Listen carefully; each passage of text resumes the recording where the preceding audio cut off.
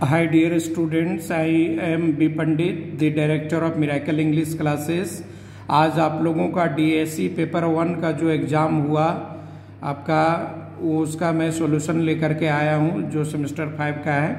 तो हम लोग जो है एमसीक्यू क्वेश्चन की और मूवमेंट कर, करें मूव करेंगे, जो आपका बारह एमसीक्यू क्वेश्चन है, जो काफ़ी इम्पोर्टेंट है। कहता है पहला में which poetic device is Marvell based non four तो हम लोग डायरेक्ट आंसर में आएँगे तो मार्बल जो है आपका एलोबोरेटेड कंसीट के लिए वो जाने जाते हैं डियर स्टूडेंट ये ऑप्शन नंबर इसका ए का दूसरा होगा। आप कहता है बी में Herrick was a student of what prominent figure in English literature from the seventeen century तो विलियम शेक्सपियर का, आपका, कहता है बेन जॉनसन का और जॉन डन का और रॉबर्ट बर्न्स का। तो यहाँ पर डियर स्टूडेंट यहाँ पर जो हो जाएगा सेवनटीन सेंचुरी का पूछ रहा है। तो यहाँ पर आपका हो जाएगा बेन जॉनसन हो जाएगा, क्योंकि बेन जॉनसन से वो काफ़ी प्रभावित थे। अब सी में आ जाते हैं which of these A which of these is a poem by Robert Harry तो his prayer to Ben Jonson भी है डिलाइट इन द डिसऑर्डर भी है टू वर्जिन्स भी है to make an much of time तो नो आंसर इज़ करेक्ट नहीं all the answer are correct ये आपका आपका ऑप्शन नंबर फाइव हो जाएगा इसका, और इसका दो था। अब आते हैं John Keats wrote many of what kind of poems तो जॉन किड्स जो है डियर स्टूडेंट वो वर्ड को लिखे हैं। अब कहता है, ये a thing of beauty is joy forever is the opening lines of whose poem तो ये इडिमियन का है, जो आप लोग ट्वेल्थ क्लास में भी जॉन किड्स का पोएम पढ़े होंगे।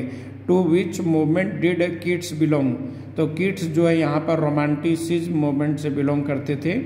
अब जी में आ जाते हैं which of these Keats write an ode to तो वो टू उन्होंने नाइटिंगल लिखा है डियर स्टूडेंट अब कहता है कि वेयर वाज सेली बोर्न ये फ़ील्ड प्लेस में सेली का जन्म हुआ है। अब आ जाते हैं यहाँ पर, कहता है in the garden which colour is the thought to be which of all the annihilated तो ग्रीन कलर हो जाएगा डियर स्टूडेंट ये।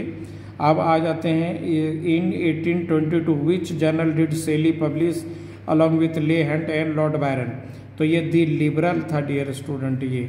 दी लिबरल पब्लिश किया गया है ना? अब कहता है how is Shelley suppose to have died Shelley कैसे डूब के मारा था? तो ही ड्राउंड इन दी सी आपका ऑप्शन नंबर टू सही हो जाएगा। अब हम लोग लास्ट में आते हैं। What year was the Andrew Marvell born तो एंट्री मार्बल का जन्म जो है सिक्सटीन ट्वेंटी वन में हुआ है डियर स्टूडेंट लेकिन यहाँ पर कोई भी ऑप्शन आपका सही नहीं है। लेकिन आपका जो है, कोई भी अगर आप इसमें अगर आप सही मारे होंगे तो आपको वहाँ पर एक नंबर जो कंपेंसेट करके आपको मिल जाएगा। या तो नियर अबाउट अगर 1629 भी मारे होंगे तो आपको मार्क्स मिल जाएगा। लेकिन कोई भी ऑप्शन में आप मारे होंगे तो आपको मार्क्स मिल जाएगा।